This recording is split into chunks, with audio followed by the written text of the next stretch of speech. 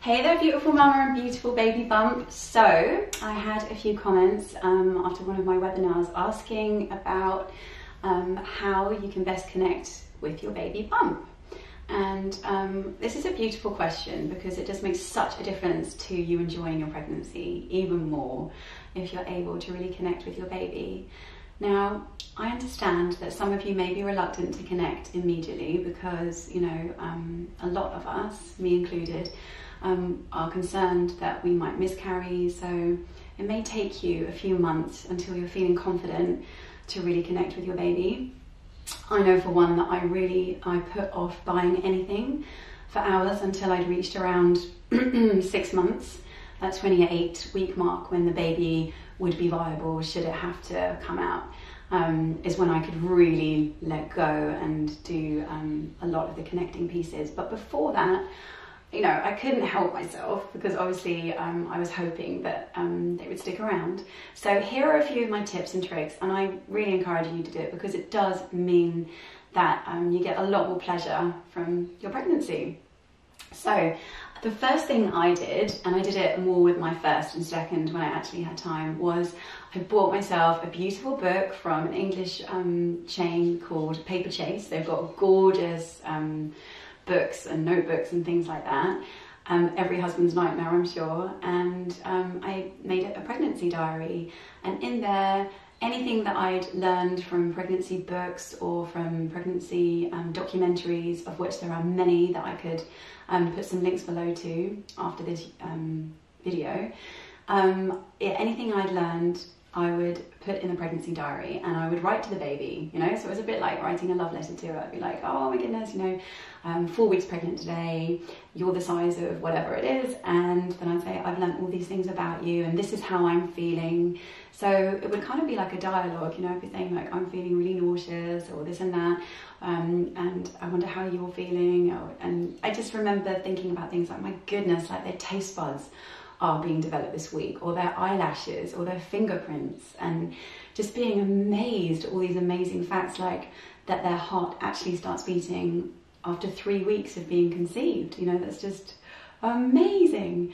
And I remember kind of, you know, writing this when I was in bed and elbowing my husband going, oh, isn't this great? Like, you should know about it. Why don't you want to watch all these things with me or read this book? And he's just like, yeah, yeah, you're all right, you know? So I think it's something that can really help initiate the bond with your baby and get you really excited. Um, I also would write letters to the baby, um, just you know, even separate from the actual pregnancy diary, where I'd be like, you know, I wonder who you're going to be, and this is how much I already love you. And again, I've got um, some beautiful examples of that, not just written by myself, but um, by some women I've worked with. If you'd like to see some of those for inspiration, um, I also sang to the baby every single morning when I took my shower because I thought that's just an easy ritual that's part of my every normal day routine, right?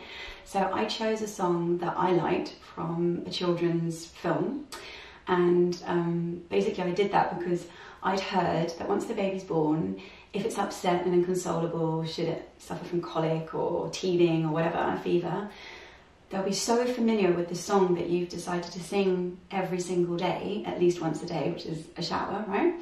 Um, that it should really help calm your baby down when it's earthside. So I thought, well, what have I got to lose? So I chose the bare necessities with all of them because I just love that song, and I would just sing it while I was having a shower, one, two, three times. And they absolutely loved that song when they were born. You could tell they were aware of it, you know, that they, they were familiar with it, and it really did help calm them down. Um, plus, it's just something nice, you know, to sing and massage your bump at the same time um, while you're having the shower. That's the other point that I did was um, I would always use bio oil to make sure I didn't get stretch marks, and I have to say, touch wood, after five pregnancies, it did the trick. So just having a lovely massage as well after you've had a shower and just talking to your baby bump, or even just you know, massaging it. There's something beautiful you can do. And if you've got children already, then getting them involved in that is really nice too because you're basically saying, oh, you know, could we just massage the baby? Your little baby's in there, and you can sing to it or talk to it right now, and it really helps. It became part of the morning and nighttime routine that my kids um, would massage the bump as well once I'd had some. Um, watching videos and documentaries, like I said, on then being in utero and reading books is amazing as well. And yeah, I will include some links below. Naming the baby um, is also nice. So even though you may not know if you're having a boy or a girl, we never did, you can still name the baby um, to make it more real, right? So we invariably used the name Bambino for a lot of ours, or Froglet Sproglet, I don't know why, or um, the Longlet, the baby Longlet, because our surname is Long, so it became the Longlet. Um, but I've heard all kinds of variations from like, oh, let me see, Olive um, was one of our friends used because they said if it's a girl, we'll call it Olive, and if it's a boy, we'll call it Oliver. Or um, prawn, or peanut, or baby bean, or um, I don't know, monkey menace, because I guess that could be unisex, but you know, come up with your own endearing name and then it's something that you and your partner can call the baby already and it really does help make you feel connected. The other thing you could do is meditate with your baby. Um, I'm currently producing and creating a meditation specifically for this, for mama and baby connection time. So you could listen to that, um, or you could just listen to the music and think of your own words and your own thoughts to add to it. I also have a wonderful friend who is a Sula, so that might be something that you'd like to know more about. She basically um, puts you in a kind of trance. She can do it online or in person, and you connect with the spirit of your unborn child through a state of kind of hypnosis.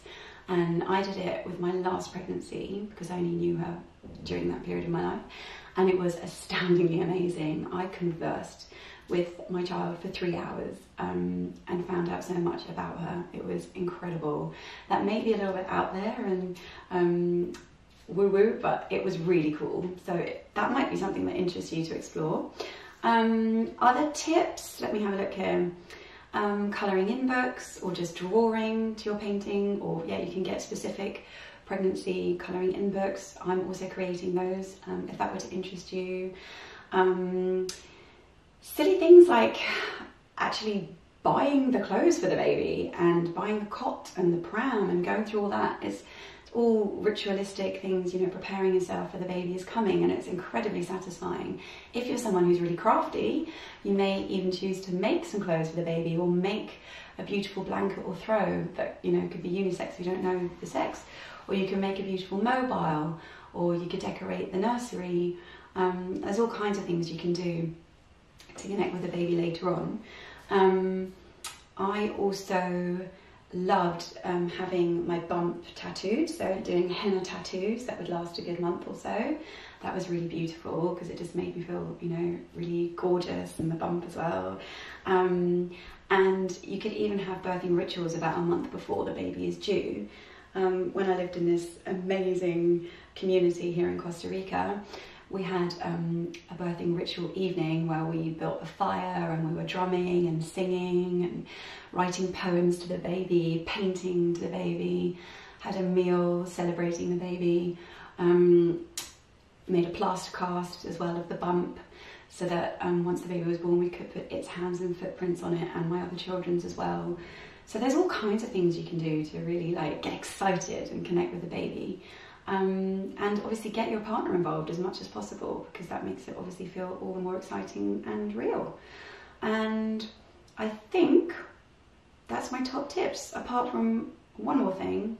You could also create special you time, and by that I mean you could um, go for a lovely swim, especially when you're heavier. It just makes you feel so much lighter and more, oh, just freeing. But you know, that could be you time. You could go for a massage because there are pregnancy massages you can do so you don't have to lie on your tummy but lie more to the side and, or in a special chair. And just dedicate that time to the two of you. And you could even bring like a meditation track along with you to the massage or reflexology session or whatever you know floats your boat basically. But yeah use that time to connect with your baby with a special meditation or some songs you like. So there you go. I hope that's been useful and helps you and your baby connect